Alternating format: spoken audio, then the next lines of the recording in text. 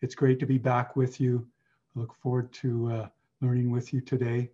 Um, we're going to start, uh, as we often do, with, uh, with an exercise, and then there'll be the uh, presentation and, and some time for discussion, and then there'll be a final exercise before we close out. I want you to take a moment to have a look at the painting before you. It's by the uh, German Romantic painter Caspar David Friedrich, active during the 19th century.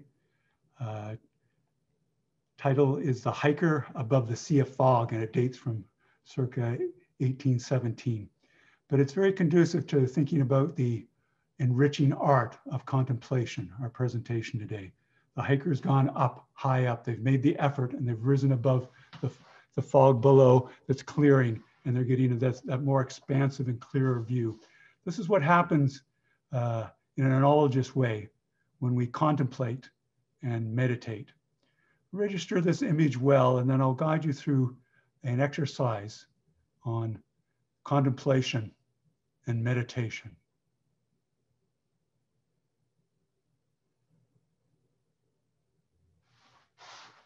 So make sure that uh, you're seated in a comfortable place. If you're in a chair, spine upright. Valuable to have that upper diaphragm free for uh, rhythmic breathing, unimpeded. And just take some few deep breaths. At this point, you may wish to close your eyes.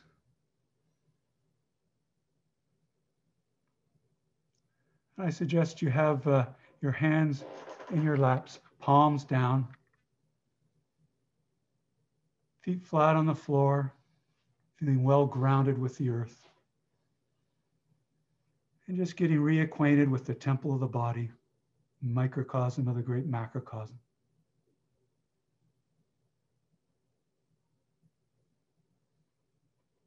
Enjoy the rhythmic breath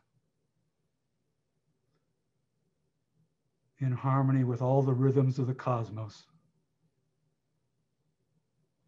Breathing is a surprisingly simple act, but it's a rejuvenating one, especially on the exhalation. There's the relaxation response through the vagus nerve.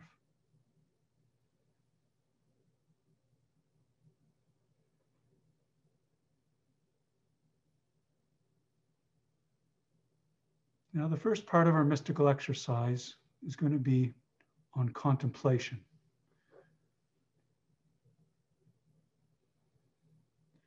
So at this point, I invite you to contemplate or reflect on something. Go with what's uppermost in your mind. It could be anything. If you wish, you may wish to open your eyes and have a look around your room. There may be something there that strikes you that you haven't noticed for a long time. And you want to look at it and reflect on it, why it's there and what it means to you. Or maybe you want to look out your window and see a tree, see the wonderful way it branches and appreciate nature anew. Or maybe there's something someone said to you earlier today that struck you and you haven't had a chance to fully absorb its deeper meaning and your particularly your response to it. Go with that if that's what's uppermost in your mind. Or there may be something else that you feel is pressing. Don't let the outer mind so much do it. Let it be suggested more by the deeper part of the inner mind what to go, go with. It's our true guide through life. So take some time now to quietly reflect.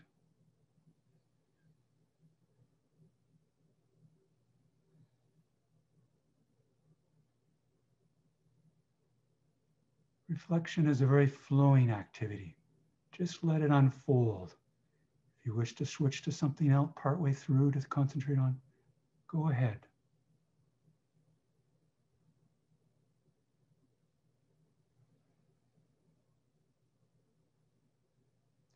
Reflecting is different from just thinking about something. It involves thinking, yes, but in a deeper way and also deeper feeling.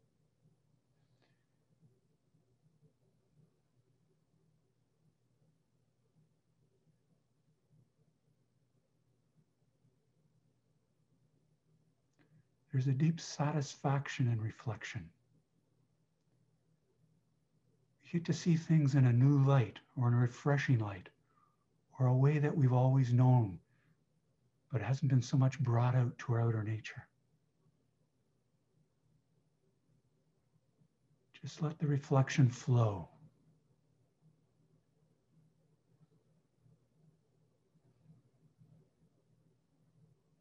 Stand back like an observing self, like the hiker above the sea of fog. Observe and appreciate.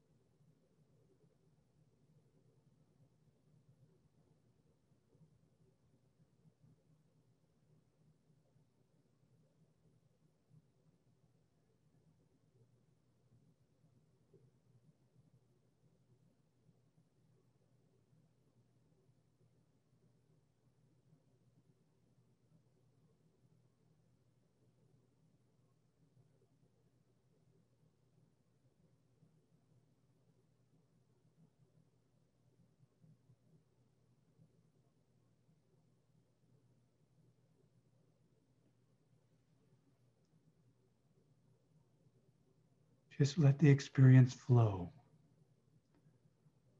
Let the inner nature come forward more. We're moving more to a borderline state so the inner self can communicate with the outer self.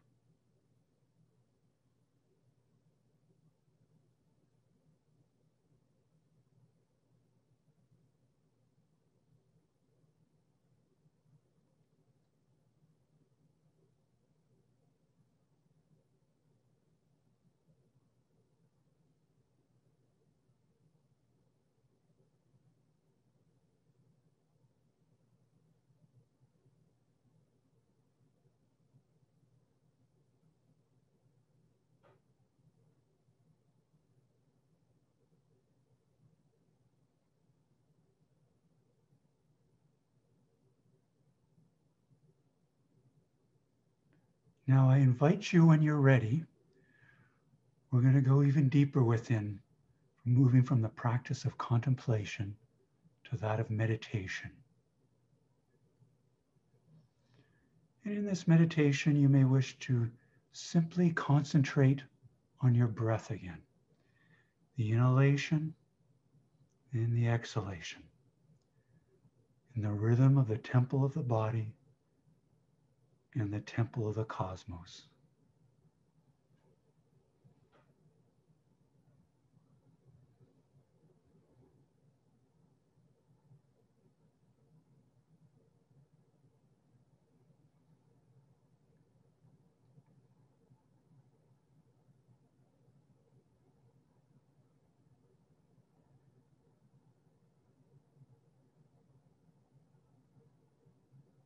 Let the outer nature be stilled by the concentration on the breath as we move deeper and deeper within. Be fully in the sanctuary of the Master within, that deepest place of wisdom that connects us with the divine.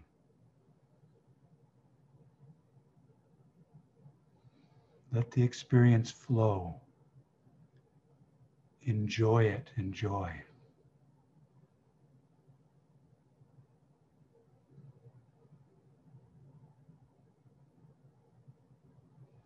Whatever you were contemplating or reflecting on, it's been released into the subconscious, to the cosmic mind for further understanding and comprehension come back to us later.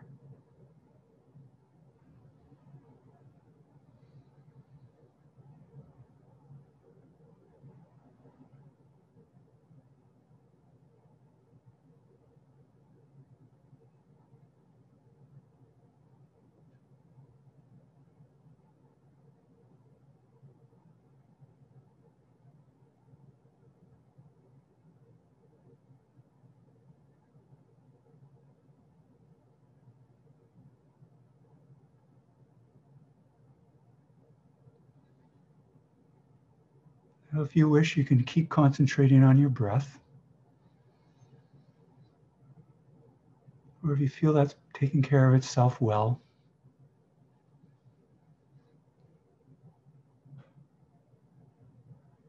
if you wish to picture your mind expanding beyond your immediate surroundings, taking in your state or province. Picture mind expanding beyond the country where you are, beyond the continent and the hemisphere where you are.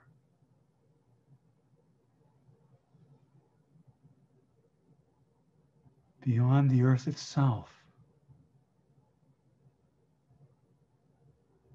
beyond the sun and the solar system, mind expanding continually beyond our great home in the Milky Way galaxy, the great spiraling galaxy. And picture the mind encompassing the entirety of the cosmos, being one with the cosmic mind, being the cosmic mind, assuming the cosmic mind now. Let us dwell here in silence and stillness.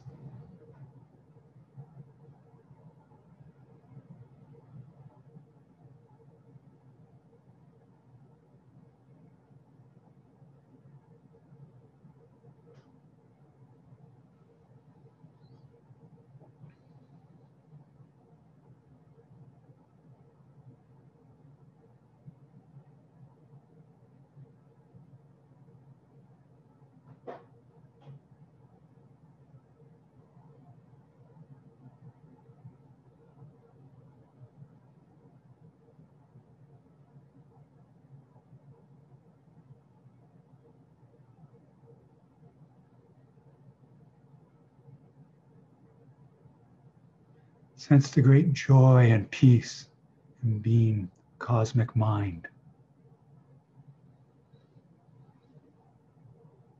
in which all is known and all are loved.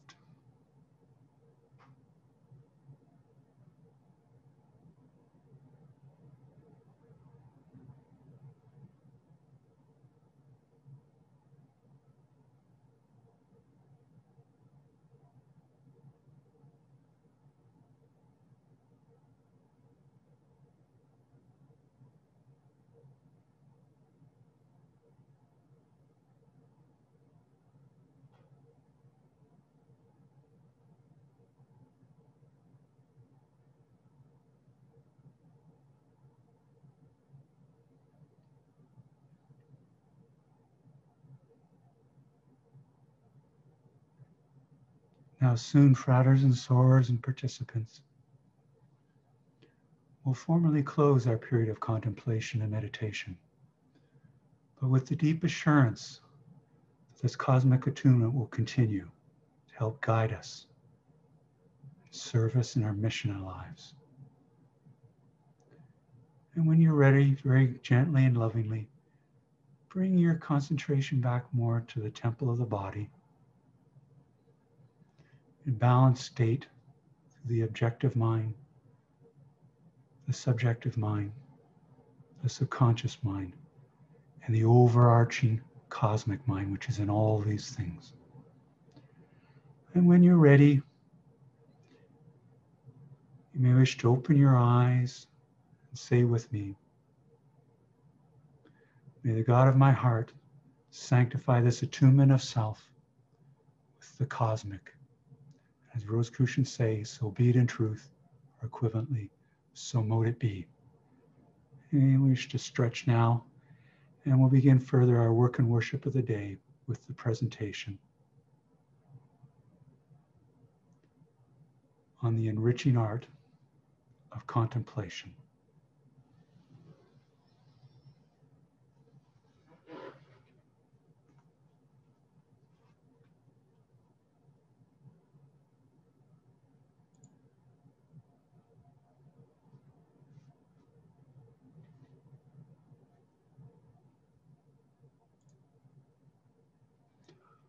Okay, thank you. You know, meditation done in conjunction with co contemplation is a powerful combination for allowing intuition to be recognized, heard, and acted upon in guiding our daily lives. Intuition is the expression of the divine mind within us. This cosmic attunement provides us with clear and certain insights that draws us into our full maturity as a human being, a microcosm.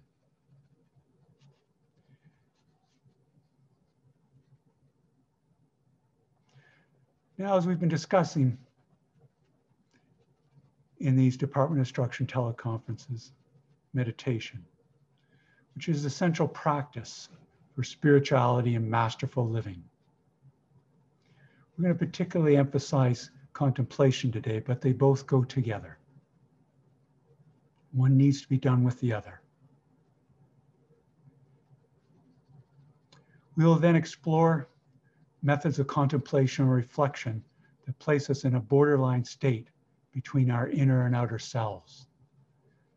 This practice greatly augments and fulfills the insights of meditation and engenders the experience of harmony in our lives. These meditative and contemplative activities are needed for and are to be balanced with the many enriching activities and required duties of our daily lives.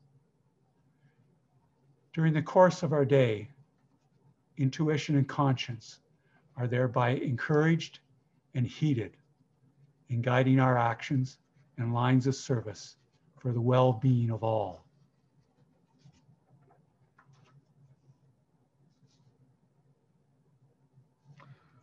I want to show you now another slide that's based on the Rosicrucian schematic diagram of mental processes, which I think some of you have seen in a similar form in your studies. It's a very important diagram. You see it in a more elaborate way in your studies and part of the benefit of your studies, uh, if you've taken up the Rosicrucian studies already. And it's a good one to keep in mind daily because it explains so much of what's going on in our lives in a way we can think of it as a map of our mental experience. However, bear in mind that the map is not the territory. As mystical students, we need, need to take these things on as lived experiences. These are real, vital, living realities. But they help the outer mind and our reasoning understand. You know, in contemplation, if I point here, we're letting go of the external world of the senses unless we're particularly contemplating a work of art or something in nature or something in our room we particularly like to focus on. Even if we're doing that though, we're moving back towards the subconscious, subjective consciousness or the subjective mind, where reasoning takes place, because uh, contemplation and reflection have a degree of reasoning on it, but also we, we move in a, a way, keep active with that, but we move deeper, starting more into a borderline state that is partly into the subconscious and at times in contemplation, even into the, into the, into the deeper beyond that, more fully into the cosmic conscious state. If we go even more deeply in, into the cosmic mind or the cosmic conscious state, we've moved into the meditative state. So sometimes we may, in contemplation, even move into the meditative state, even when we're not uh, specifically doing it, intending to do that at that time. That's why there's a flowing nature in contemplation and meditation. But it's often good to have a period of contemplation before we meditate or after uh, we meditate. I'll describe later some good times to do contemplation as well. But keep this diagram in mind in a way. We're moving more and more inwardly, back, even back this, into the subconscious mind and to degree into the cosmic mind when we contemplate. We go even deeper in when we do the, the meditative state. You'll see this in various spiritual traditions of the world. For example, in uh, uh, Buddhism, commonly uh, an aid for contemplation and meditation is the mandala, often with the four Buddhas in the four directions and the central Buddha in the center. And as we move, one moves, meditator and contemplator moves deeper, they move with through those four directions of the Buddhas into the center.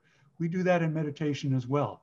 An example in the West is the uh, brilliant student of Hugh of St. Victor during the 12th century, Richard of St. Victor, who wrote extensively on the practice of contemplation and meditation using uh, a deep symbolism of the tabernacle of Moses as you move from the outer precinct of the tabernacle into the various parts and room, rooms within the tabernacle.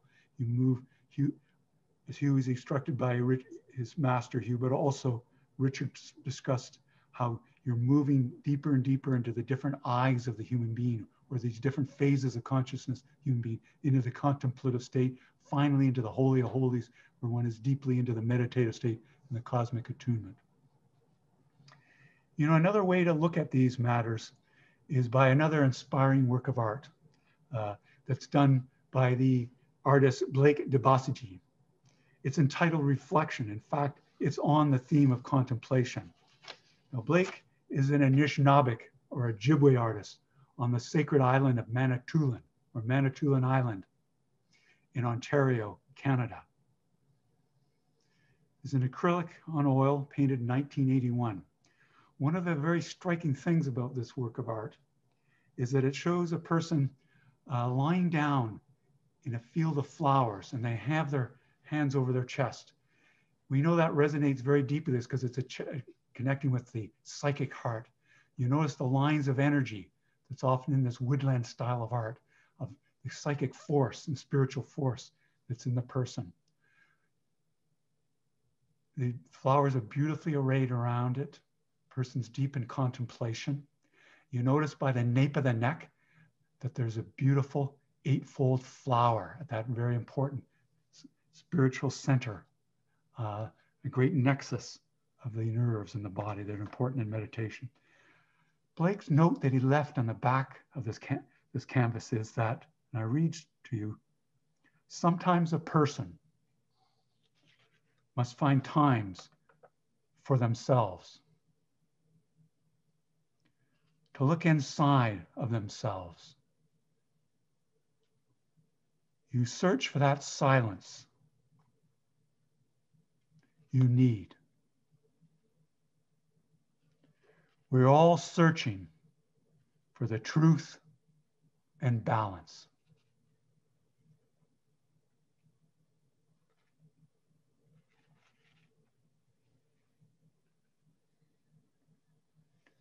Now, when we contemplate and medit- when the fruits of our meditation, symbols may arise spontaneously, often associated with the work of arts we've looked and can have inspired these artists to do these wonderful works.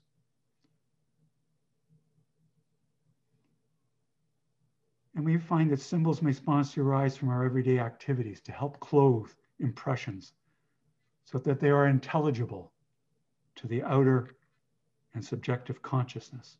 For example, while we're walking over a bridge, the bridge can have a profound meaning in our life, or while we're ascending an elevator.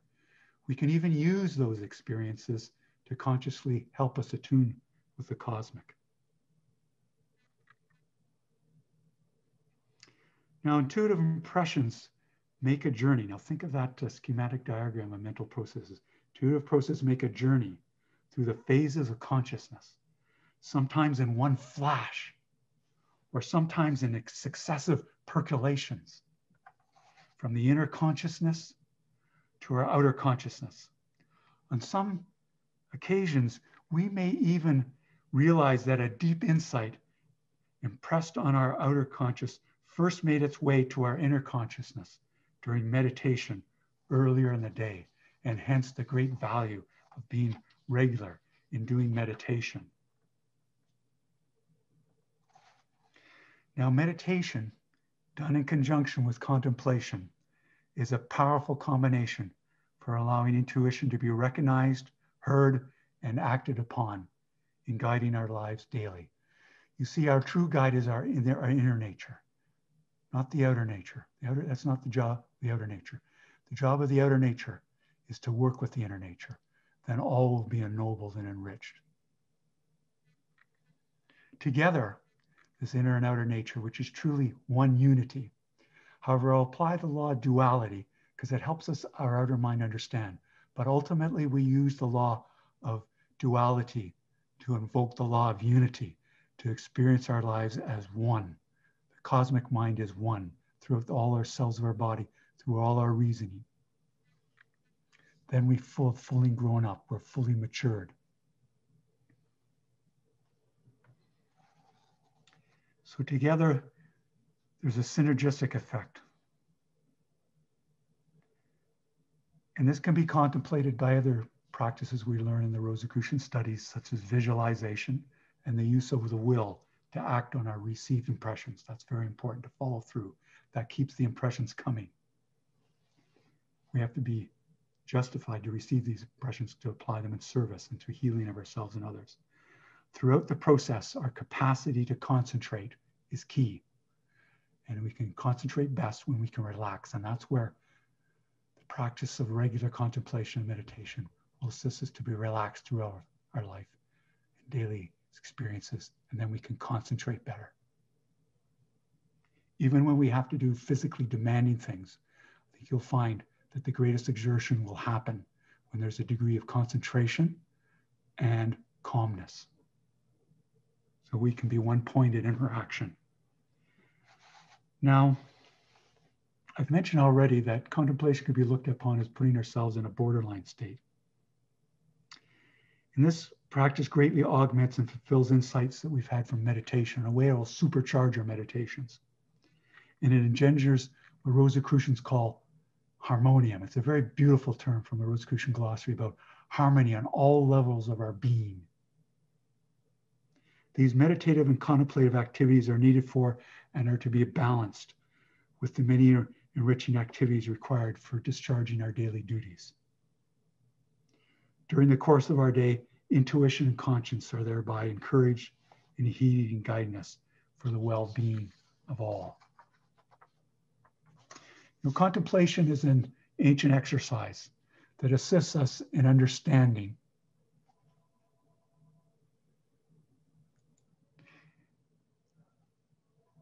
and effecting needed change in oneself and in society. There's great value and efficiency in taking time in our daily routine or schedule to quietly reflect. This is a surprisingly simple act and a very powerful one. Thus, essentially, we'll be reviewing the practice of taught by the Rosicrucians of contemplation. Later, Soror Karen is going to post some resources for you in addition to the monographs which you may be studying. There's some books by Dr. H. Spencer Lewis and uh, Ralph M. Lewis, past imperators of the Rosicrucian order that deal with this topic. However, there may be a few new perspectives that we haven't considered before today.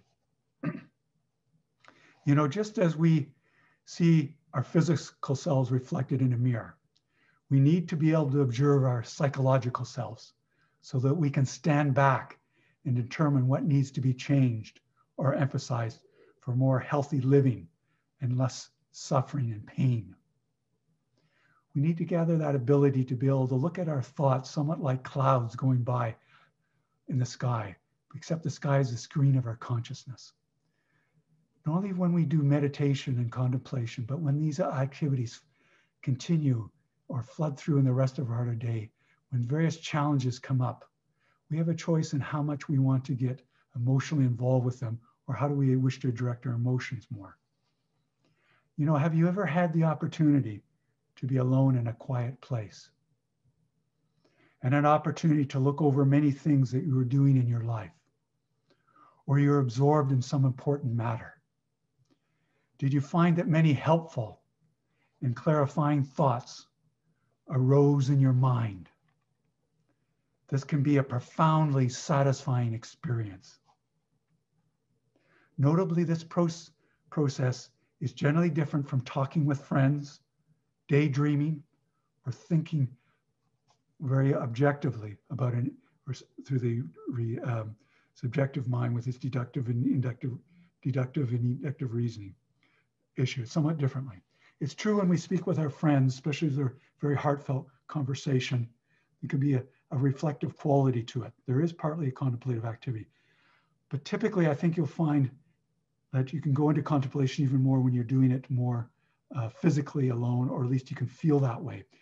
Because when we speak with friends, we tend to be moving towards the objective state repeatedly as we look at them and think about how we're speaking with them, and then back into the contemplative state. Often, for that reason, we'll find that we appreciate our, our friends and things most deeply when we're alone contemplating. Now, there's common expressions that relate to taking time to reflect or contemplate in one's life. For example, the expression, one can't see the forest for the trees. In other words, one may be duly caught up in little pressing problems or sidetracked in other pursuits that the original overriding goal is no longer guiding one's actions. Taking time to reflect daily helps to ensure that the larger goals in our lives are worthwhile and that these goals are active in guiding us daily. Now we see the practice of withdrawal from activities for solitude and reflection in many cultures and in many epochs. This was part of the purpose of the cloister and some chapels that adjoin many of the great abbeys and cathedrals of Europe. The mountain is a recurrent motif and in part a symbol of contemplation in the Jewish and Christian traditions is related, for example, in Moses and Jesus or the Yeshua going up the mount. And First Nations or Native peoples have numerous practices of individuals going on retreat for gaining wisdom and purpose in life, including going up a high hill or mountain. It's notable that the word contemplate partly comes to and relates to the Latin word templum, which means a sacred demarcated precinct. So, in a way, when we contemplate and meditate, we're forming within ourselves a sanctuary or a sacred precinct that we can come back to whenever we wish and have it as a mental habit. Now, temples and traditional practice associated with them suggest the need to temporarily and with regularly withdraw from our active lives. The contemplative activity allows us to reflect on the deeper purposes and issues involved in our experiences. Reflection or contemplation on the events of our lives takes us deeper into ourselves. It is an activity that can and needs to be balanced with the many activities in our daily living. After a busy day of work or activities, can be an excellent time for reflection. There are many, many events and encounters over the day. We can go with what is up, other uppermost in the mind. There does not have to be a set schedule or agenda of points to of, on issue to ponder. A meaningful flow of issues can unfold from within. Possibly there was something a person said that struck us, but we did not have sufficient time to absorb it. We may wish to stand back like a third party or observe, observer to review our behavior. That's often important because look at our, our response and our behavior. So if we have the most control of. To review our behavior and another person's behavior in our meeting earlier in the day. Also, it helps to quietly reflect, recall and reflect inwardly on emotions that were welling up. Those are often our great keys for deeper understanding during those encounters. Alternatively, we may wish to contemplate a world issue or some social issue or an event in history, a metaphysical concept, or a dream from within, dream from within from the night before we wish to ponder. You know, we regularly get emails from our class master instructors, you know, that to um, each week spend an hour on our monographs in our sanctums and to contemplate on what we've learned in the ensuing week. This practice of contemplation will help us do that very matter. Now, you may say there's various practical ways to do it. It can be part of when you sit down in your sanctum, but you can also build it in when you're uh, sitting or walking in a quiet place where one is physically alone, assist contemplation because you're withdrawing from the physical senses to a fair degree generally. The place actually does not have to be quiet or a private place, as long as we can reflect in an undisturbed way. With determination, a suitable place can be found, whether we're at home, at work, or traveling. Yes, build these things in to whatever you're doing daily. Now, it's done best as a daily practice, allowing at least 10 minutes each day. It can also be complemented with other activities such as letter writing, walking a dog, or waiting in a lineup. Yes, we're very practical. The occasional planned retreat is very beneficial, and the Rosicrucian Order, among its many services to its uh, members, provides opportunity for such retreats for study and contemplation. Now, it's true reflection requires discipline. There may be the temptation to streak, seek distraction. And a lot of our everyday life is sort of set up for distraction. Attend to me, attend to me. You need me. And so we may need to turn off the radio or television, or checking for text messages, or surfing the web or similar temporarily. Those, have, those are important activities done with discipline, uh, rather than withdrawing for the contemplation. However, we consider the value of the contemplative activity. That will provide its impetus to provide, especially if we've had the taste of how it's helped resolve important issues in our life or the deep richness, experience, and the, the deep sense of well-being it gives. Now, a notebook is helpful. The written expression can help make what was more subtle, solid, and powerful to the outer mind. The review of such a notebook or contemplation journal at a later date, especially during a challenging time, can help realign us to the essential and living. In fact, the uh, psychologist in Ottawa, the capital of Canada, Wilson Van Dusen. I'm going to give you a reference uh, for a book he wrote, and very insightfully on uh, contemplation and similar spiritual activities. He mentioned about, and very strongly emphasized, write it down. He said, if you do that daily, you have a journal to do that, you will become a great contemplative. And he was not exaggerating.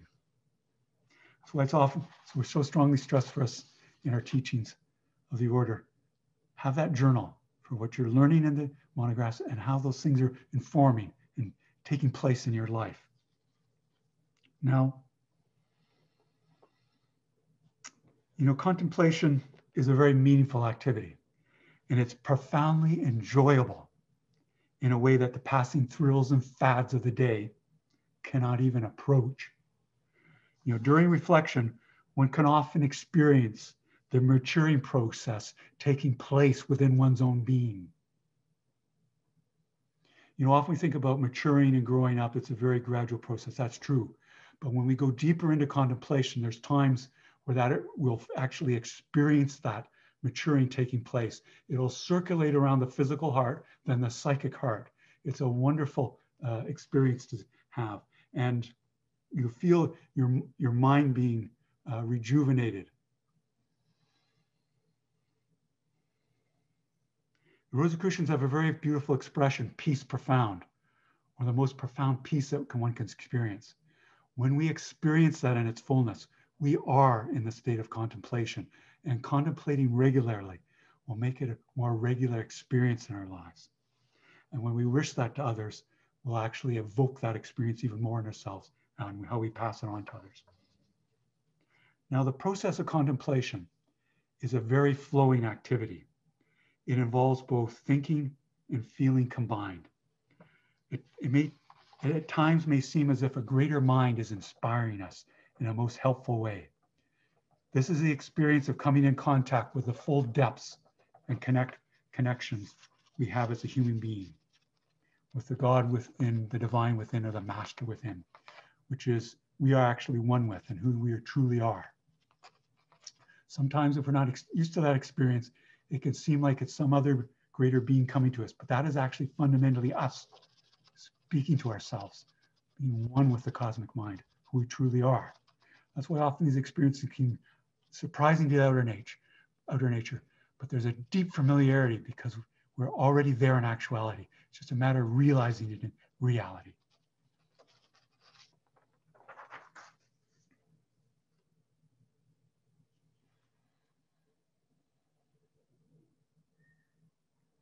Now, you know, the practice of meditation and contemplation can provide upliftment and profound understanding of important questions in which we're seeking answers, maybe ones we've sought answers for for a long time and maybe even didn't think could be answered. Or maybe something pressing that's important in family matters or an important life decision we made that the finite and limited resources of the outer mind can't get. Can't look it up in an encyclopedia, can't look it up on the web. Maybe there's some helpful pieces of the puzzle there, but the infinite resources of the cosmic mind the master within. Practice of contemplation and meditation will make those things come forward to us in understanding.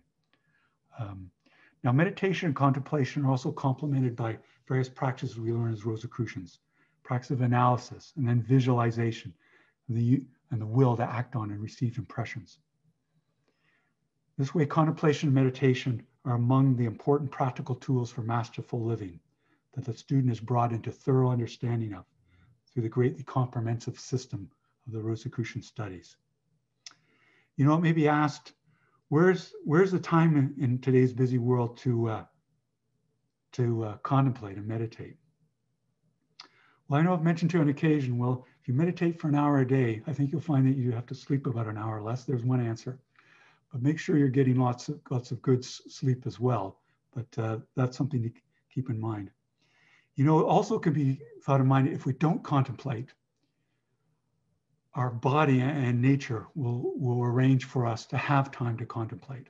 Often people will find when they get ill that lo and behold, they have a great chance to do a life review because they can't get up and they're on their back. And often it's not surprising. I think you may realize say that, you know, that was a challenging experience that I went through in terms of an ailment or so forth. But in a way, it was great because I got to reflect. I overdid it. You know, there's a, uh, uh, many physicians. I was talking to uh, Sorlin Prin, who's with us today, and she knows these things well and is part of her mission in life. There's so much wisdom in the body, and we have to work for this unified stand of health. That health means to be whole. And there's a very insightful medical doctor named Gabor Mate, who's in Vancouver, BC, and he's written various books. I'll give you a reference to one. Um, he talks about, you know, um, if we overdo it in our lives, the body will say no and we will become ill. And that's part of the wisdom of the body to get us to slow up, to balance. There's often we have hidden stress in our lives, and this often will lead to common ailments. There's a lot of peer reviewed medical research on this. Um, somewhere around de- decades, have been gradually making its way uh, more into general practice in medicine and will help transform it. But um, you need to do, we need to do uh, contemplation. Also, our life can start to become somewhat like a broken record. Um, or we're a bit like, you know, the, the mouse on the wheel going around and around. Yeah, getting some exercise, but not really getting anywhere we particularly want to. We'll find that our life is much more efficient in what we do if we take time to meditate and contemplate. If you've got a major task to do, um, do some meditation, and contemplation, then do it get into a challenge, you're stuck on it, do some meditation and contemplation, go back to it. Uh, you'll find that it was worth the time, it was more efficient, and the product is better. You know, uh, uh, there's a story of the Christmas Carol by Charles Dickens about Ebenezer Scrooge. And you, you look there, there's an example in an artistic way, what happens to a person if they don't contemplate. Uh, Ebenezer Scrooge, he was very hurt as a young man and a young boy. You know, his father in some ways had rejected him because um, the, his mother, the, the, his father's wife, partner, had passed on at childbirth, a little more common thing that was back in earlier times, back in the 19th century and earlier. And his father hadn't really forgiven him for that. And that was very hard and led to Ebenezer to sort of withdraw from life and not be so connected with persons. And he threw himself into business and developed his business skills tremendously. But he paid a severe price. He was miserable. And his life was largely meaningless. And in a symbolic way, he had a chance to contemplate his life by the three figures that came to him in the night on Christmas Eve. And in fact, they were taken on a trip of contemplation to stand back and look at different phases of his life and look at the repercussions of his actions on others. That's very important. Part of the value of contemplation is that we, if there's any habits of the subconscious, maybe some that we took on from suggestions from our parents, we don't be the, we be the last generation that that habit that isn't harmonious gets passed on. The good habits, yes, pass them on um, as those habits in subconscious. So Ebenezer Scrooge realized these things that he had done. And he made an about face. And, you know, he said, I don't deserve to be this happy. He said to his, his uh, clerk of Cratchit, you know, that, you know, Bob, um, I haven't lost my senses. I've come to them. And when he speaks uh, uh, to his uh, nephew's partner, but can you forgive a pig-headed old fool? And then he goes on to quote the words of the master Yeshua, whose words are much more deeply understandable when we meditate and uh, contemplate daily. That uh, can you forgive a pig-headed old fool who had no eyes to see, no ears to hear all these years? And then he went on to use all that business acumen to make, as, a, as his partner had said to him, Jacob Marley, that human, that if we were good men of business, it was actually, what that means is humankind was our business. Use all that business acumen for the welfare of others. So you see, there's so much that vies for our attention that is fad that will not nourish. You know, sophistication and specialized knowledge and technical matters needs to be tempered by guided by a higher divine purpose. The essentials of living have not changed over the millennia, living in harmony with others and nature, and discovering the laws and principles of living, and applying them for the well-being of all. Taking time to reflect on our lives is part of this process.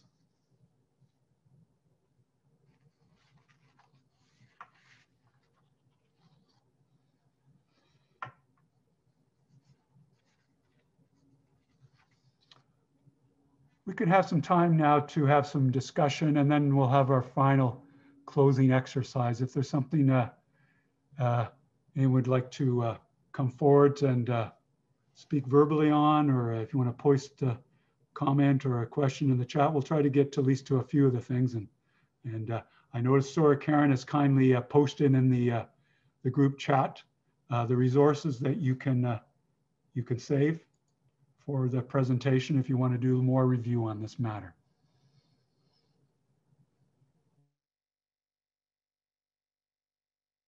You, uh, I would, oh.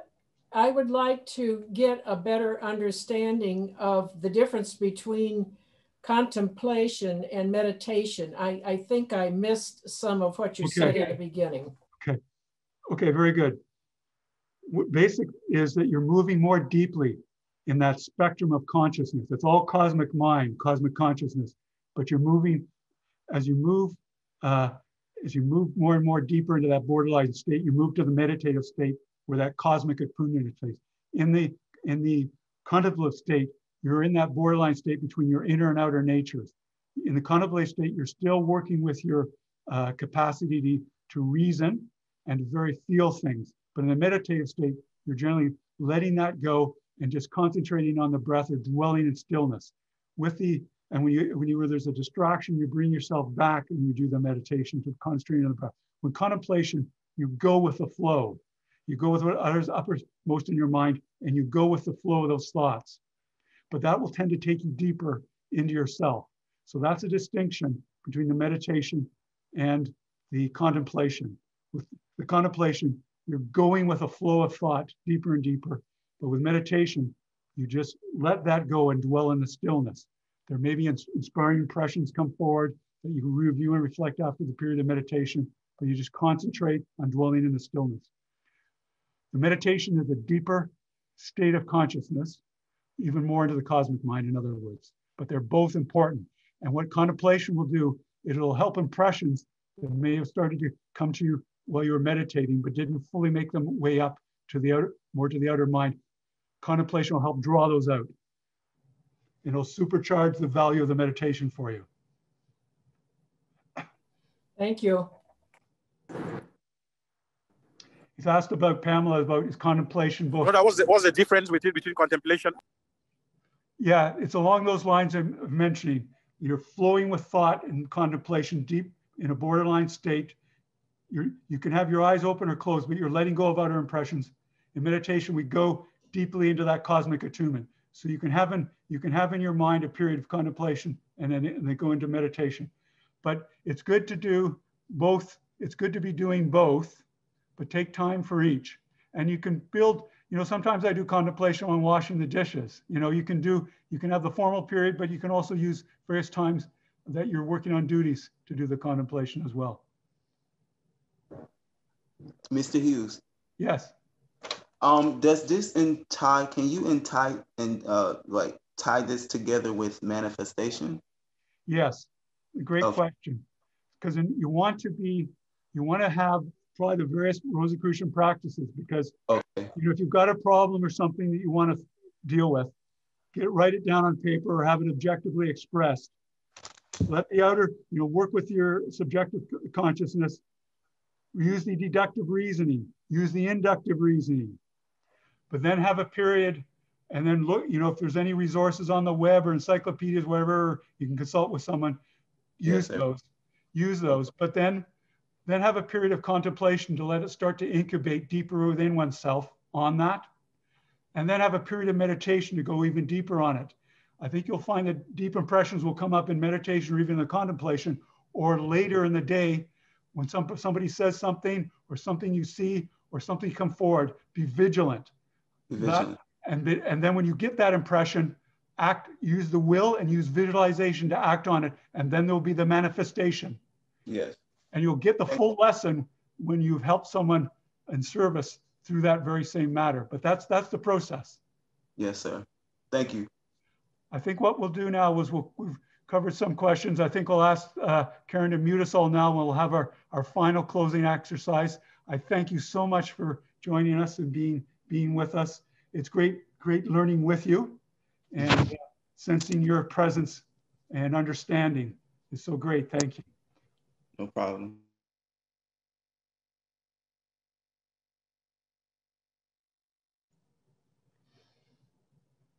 Okay, just take a take a moment to uh, take a few deep breaths, and we'll do this for about five minutes. We'll close uh, around half past hour. And I'm going to show a particular work of art to you, again by Caspar David Friedrich. and it's often entitled Women Before the Rising Sun. Some also think Women Before the Setting Sun. It dates from about 1818. It's an oil on canvas. Just take some time to look at it and contemplate this work. In a way, I think you'll find that the light builds. You may wish to at some point turn inward in meditation or just remain entirely in contemplation. It's your choice.